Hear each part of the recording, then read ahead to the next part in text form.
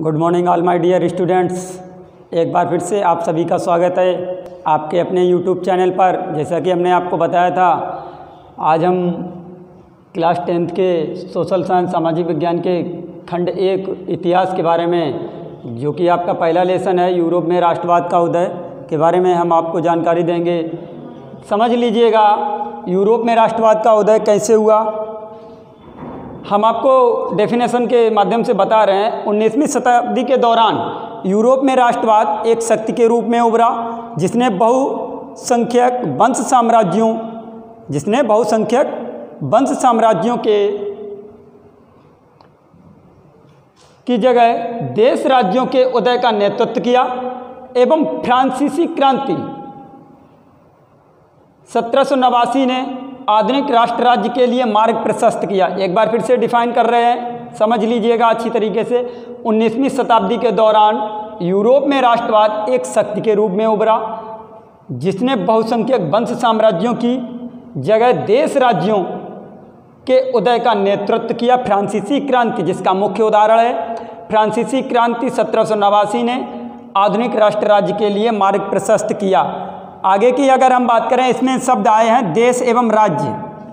या राष्ट्र एवं राज्य, बात एक ही है। अगली हेडिंग में हम आपको बताएँगे देश, राज्य या फिर राष्ट्र राज्य की परिभाषा। आगे देखेंगे राष्ट्र राज्य की definition according to Ernest Renan Ernest Renan के अनुसार राष्ट्र राज्य की परिभाषा, बहुत ही सिंपल परिभाषा है। राष्ट्र प्रयासों, बलिदानों और भक्ति के एक लंबे अतीत की परिणति है। राष्ट्र बड़े पैमाने पर एकता है, जिसका अस्तित्व एक दैनिक नक्शा बनाना है। ठीक है? एक बार फिर से देख लीजिए, जिससे कि याद हो जाए आपको। वीडियो को देखते ही देखते, राष्ट्र प्रयासों, बलिदानों और भक्ति के एक लंबे अतीत की परिणित है। राष्ट्र बड़े पैमाने पर एकता है, इसका अस्तित्व एक दैनिक नक्शा बनाना है। आगे हम डिफाइन करेंगे राष्ट्रवाद। आगे आएगा, ये तो थी राज्य एवं राज्य, राष्ट्र एवं राज्य की परिभाषा। आगे हम आपको बताएँगे राष्ट्रवाद की परिभाषा। देखिए, आगे हम बात करेंगे राष्ट्रवाद की।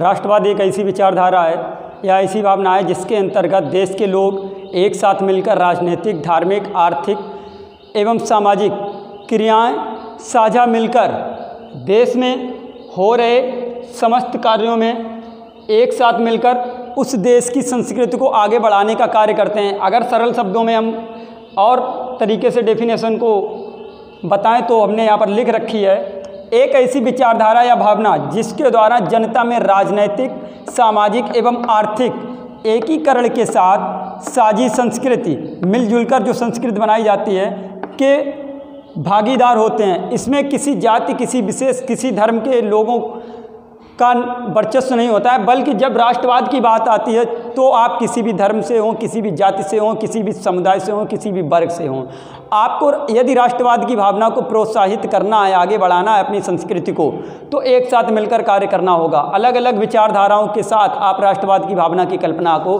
आगे नहीं बढ़ा सकते हैं, इसे हम राष्ट्रवाद नहीं कह सकते हैं। यदि आपको राष्ट्रवाद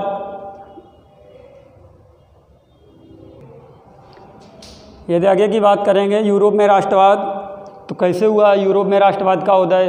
क्या कारण रहे? वो हम आगे बता रहे हैं आपको। जर्मनी और इटली एवं स्विट्जरलैंड 18वीं शताब्दी के मध्य राजशाही डचियों और कैंटनों में विभाजित में विभाजित थे।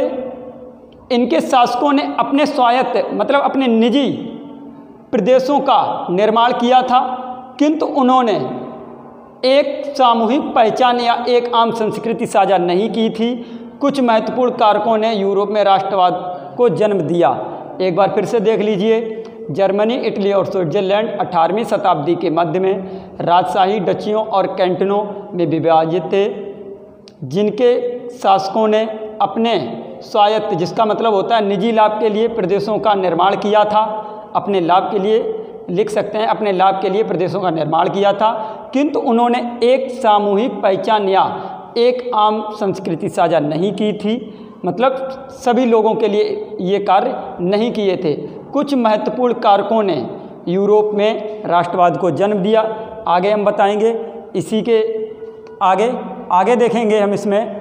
जैसे कि कई बार बोर्ड में पूछा जाता है, या बहुविकल्पीय या अतिलगुत्रीय में आ सकता है कि यूरोप में राष्ट्रवाद जिस समय हुआ था, उस समय किन वर्गों में विभाजित था? तो राजशाही डचियों और कैंटनों में विवाहित थे वहाँ के लोग। आगे देखेंगे। आगे आप देख रहे होंगे, यूरोप में राष्ट्रवाद के उदय के कारण क्या क्या थे?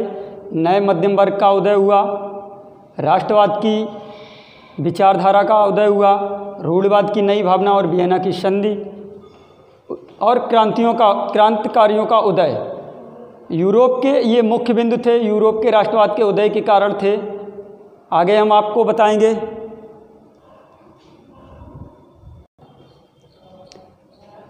यूरोप में राष्ट्रवाद के जो पतन के कारण थे, वो पहला और जिससे कि नए मध्यम वर्गों का उदय हुआ और कुलीन वर्ग और नए मध्यम वर्ग का उदय। कैसे हुआ देखेंगे हम। पहला कारण क्या था? सामाजिक एवं राजनीतिक रूप से जमीनी मालिक, कुलीन वर्ग, यूरोपीय महाद्वीप का सबसे प्रभावशाली वर्ग था। एक बार फिर से देख लीजिए, सामाजिक एवं राजनीतिक रूप से जमीनी मालिक, कुलीन वर्ग, यूरोपीय महाद्वीप का सबसे प्रभावशाली वर्ग था। बहुविकल्पीय में पूछ सकता है या अतलगोत्रीय में पूछ सकता है कि कुलीन वर्ग यूरोपीय महाद्वीप का सबसे प्रभावशाली वर्ग यूरोप में राष्ट्रवाद के समय कौन सा था? तो बताएँगे कुलीन वर्ग। आगे की अगर हम बात करें, यूरोप में पश्चिमी तथा मध्य भागों में औद्योगिक इकाइयों और व्यापार में बढ़ोतरी से शहरों का विकास हुआ।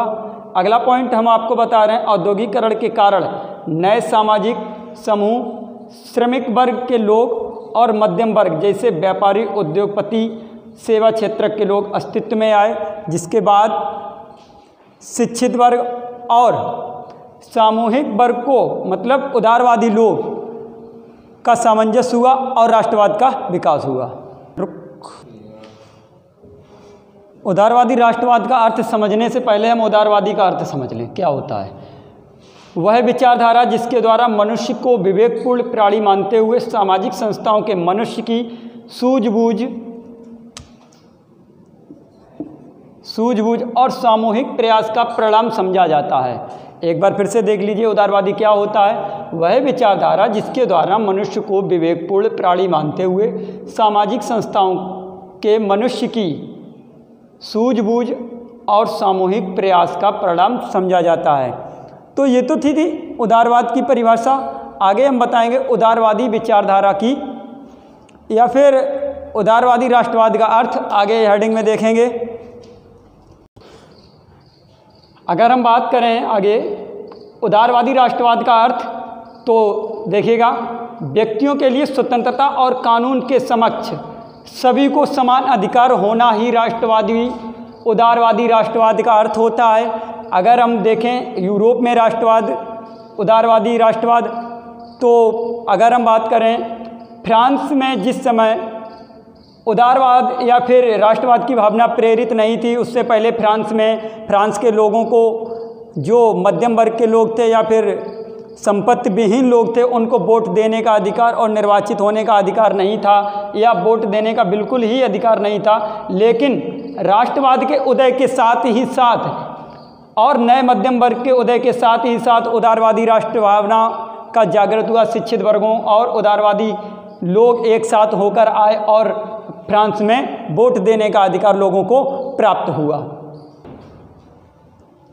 आगे की अगर बात करें रूढ़िवाद की तो एक ऐसी विचारधारा जो प्राचीन संचालित परंपराओं एवं रीति रिवाजों का समर्थन करे एवं तीव्र परिवर्तन एवं विकास की जगह क्रमिक विकास को प्राथमिकता दे। एक बार फिर से देखेंगे, एक ऐसी विचारधारा जो प्राचीन संचालित परंपराओं एवं रीति रिवाजों का समर्थन करे एवं परिवर्तन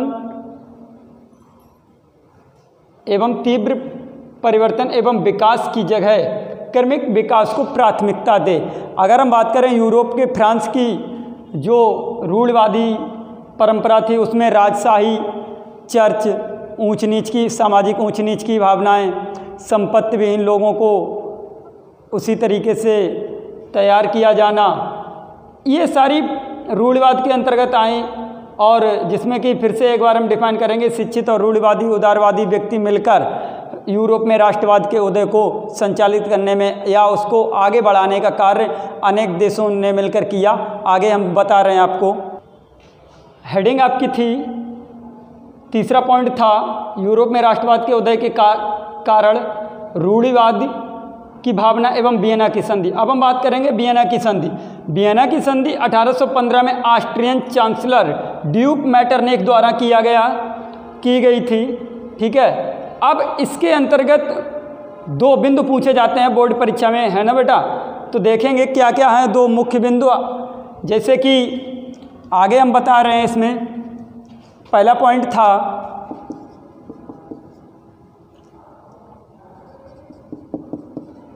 फ्रांस ने नेपोलियन।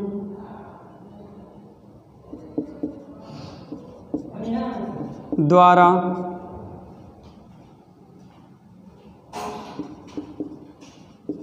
खोए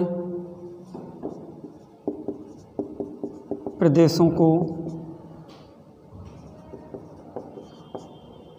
वापस करा लिया। ठीक है। सॉरी मिस्टेक हुआ है थोड़ा सा। देखेंगे। फ्रांस ने नेपोलियन के अंतर्गत आने वाले प्रदेशों को खो दिया। दूसरा पॉइंट था, फ्रांसीसी क्रांति के दौरान। फ्रांसीसी क्रांति के दौरान